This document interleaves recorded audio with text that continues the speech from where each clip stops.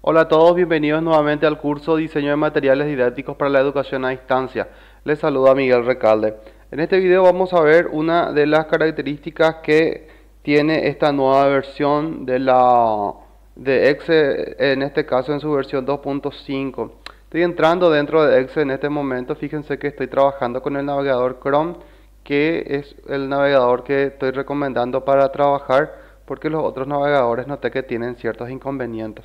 Bien, una vez que estemos dentro del Excel Learning en este caso, fíjense que estos son los iDevice que tenemos disponibles por el momento, el de texto y tarea, el de actividades interactivas y otros contenidos. Dentro de ellos está el de texto, el iDevice tipo tarea y acá están las actividades no interactivas y por otro lado están acá los otros tipos de contenidos como galería de imágenes y notas. Bien, para poder, eh, digamos, Em, trabajar de, con el modo avanzado y para poder obtener los otros tipos de iDevice en este caso, em, entonces tenemos que irnos hasta acá donde dice modo, modo avanzado y tenemos que aceptar esta opción. Una vez que aceptamos esta opción, si ustedes se pueden fijar, acá están eh, para desagrupar los iDevice por un lado y acá están los iDevice disponibles. Esto es lo que aparece ahora. Entonces uno puede buscar los iDevice disponibles Acá está, por ejemplo, el de texto libre, acá está el de reflexión, acá está el de objetivos, acá está el de conocimientos previos, el de caso práctico, actividad de lectura, eh, acá también está el ID de actividad, ¿sí?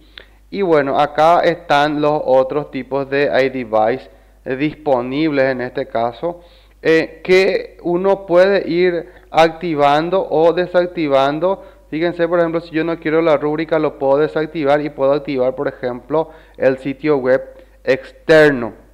Em, entonces, em, otro contenido, por ejemplo, la lupa, lo quiero, lo quiero eh, habilitar en este caso. Entonces, simplemente selecciono eso para poder trabajar y puedo deseleccionar en cualquier momento si es que no voy a trabajar con él. Una vez que tenga esto, siempre tengo que guardar los cambios.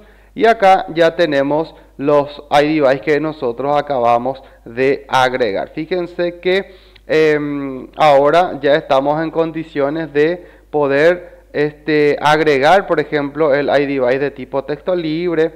Podemos agregar el de tipo actividad, el de actividad de lectura, ¿sí? el de caso práctico, el de conocimientos previos y el de objetivos, por ejemplo. Cada iDevice tiene relacionado un icono y bueno, trae sus propias presentaciones.